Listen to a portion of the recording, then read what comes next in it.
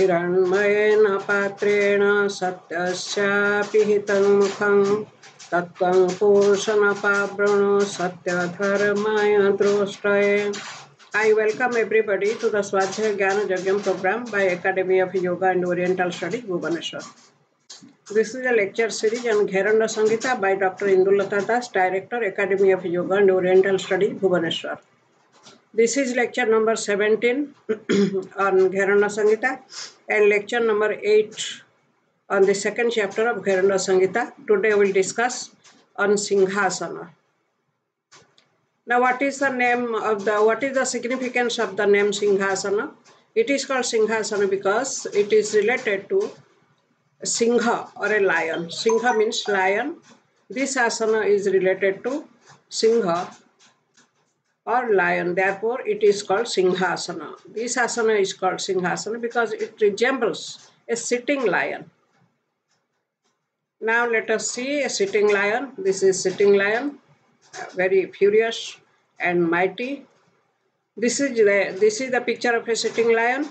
When Singhasana is done at the last stage, the uh, practitioner somehow imitates the, a sitting lion, the posture of a sitting lion. Therefore, it is called Singhasana.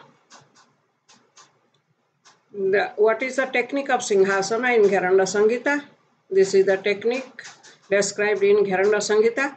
गुल्फौ च वृष्णस्याद विक्रमेणोर्धताङ्गतौ क्षितिमूलौ भूमिसंस्थौ कृत्वा च जानुनोपरि व्यक्त वक्त्रो व्यक्त व्यक्तवक्त्रो जलन्ध्रं च नासाग्रमवलोकयत्। सिंहासनं भवेदेतत् सर्वव्याधिविनाशकम्। Let me repeat it again गुल्फौ च वृषण साधो वृषणस्याधो चितिमूल भूमि भूमिसंस्थौ कृत्वा च जानुनोपरि।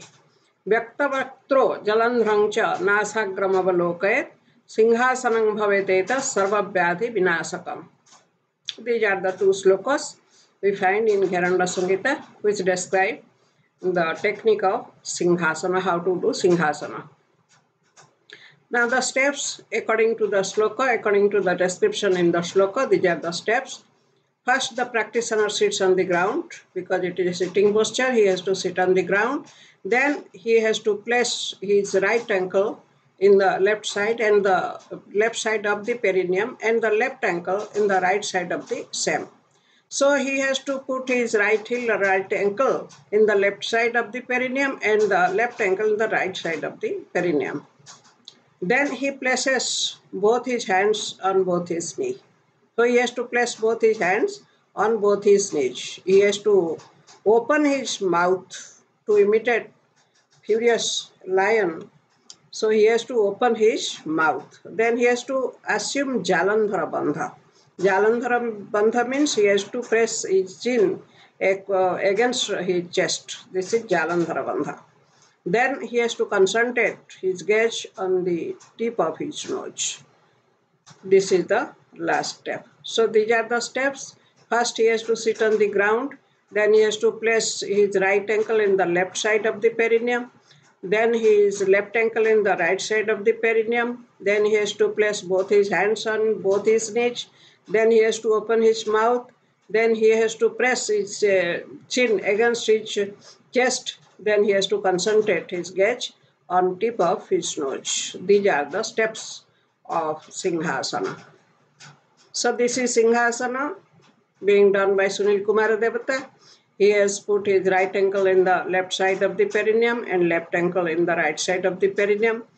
He is uh, putting both his hands on the knees and he has opened his mouth furiously and he has pressed his chin against the chest. That means he is assuming, he has assumed Jalandhara Bandha and he is focusing his gaze on tip of his nose. These are the steps, all the steps he is doing.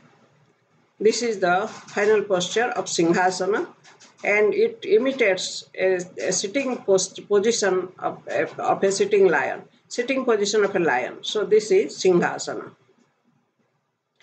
Now what are the benefits of Singhasana according to Gheranda Sangita? It destroys all the all diseases. Apart from this, no specific benefit is mentioned. In fact, no specific benefit is mentioned in the in the sloka, and because asanas asana N ए रुजंती asana destroys all the diseases so we have to take that asana this asana also destroys diseases so this is the benefit ना we compare with Hatha Yoga Pradipika because Hatha Yoga Pradipika is one of the most important books of Hatha Yoga so let's compare the Singhasana with the Singhasana Yoga Pradipika. Let us see what is the description, what are the steps, etc. Now the description of Singhasana according to Hatha Yoga Pradipika is like this. गुल्फौ च वृषणस्याधः शिवन्याः पार्श्वयोः क्षिपेत् दक्षिणे सभ्य गुल्फं तु दक्ष गुल्फं तु सभ्यके हस्तौ तु जाह्नौ संस्थाप्य स्वाङ्गुलिः सम्प्रसार्य च व्यक्तवक्त्रो निरीक्षेत नासाग्रं तु समाहितः These are written in two, uh, two slokas. So the description is like this. Uh, let me repeat it again. Gulphau cha brusna syada sibanyaha parshvayaha khipet. दक्षिणे सभ्य गुल्फंग तो दक्ष गुल्फंग तो सभ्य के हस्तौ तो जानो संस्थाप्य स्वांगुलि संप्रसार्य Bhatta व्यात्त वक्त्रो निरीक्षेत नाशाग्रं तो समाहित This is the description of Singhasana according to Hatha Yoga Pradipika So let us see what are the steps.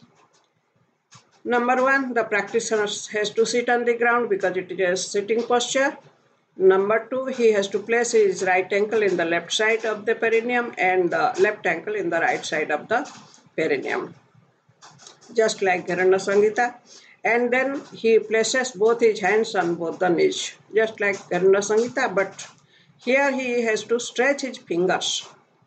He has to stretch his fingers above the hands. This is not found in Gheranda Sangita. And then opens his mouth furiously. This is also according to Gheranda Sangita. And then focuses his gaze on tip of his nose.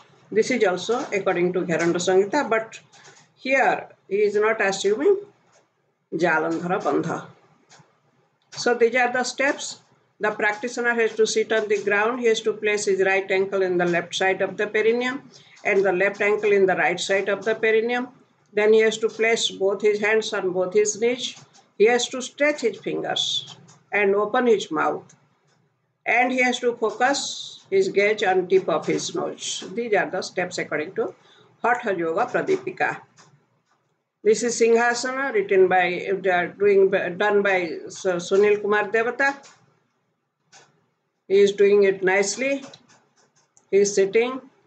According to the description, he has put the right ankle in the left side of the perineum and left ankle in the right side of the perineum. Then he has put both his hands on the knees and he has stretched the fingers. And then he has opened his mouth furiously. So this is perfectly done according to the description of Hatha Yoga Pradipika. Then we come to the benefits in Hatha Yoga Pradipika. Yes, in Hatha Yoga Pradipika we find uh, the mention of benefits. Hatha Yoga Pradipika says, Bandha Tritaya Sandhanam Kurute Chasanattamam.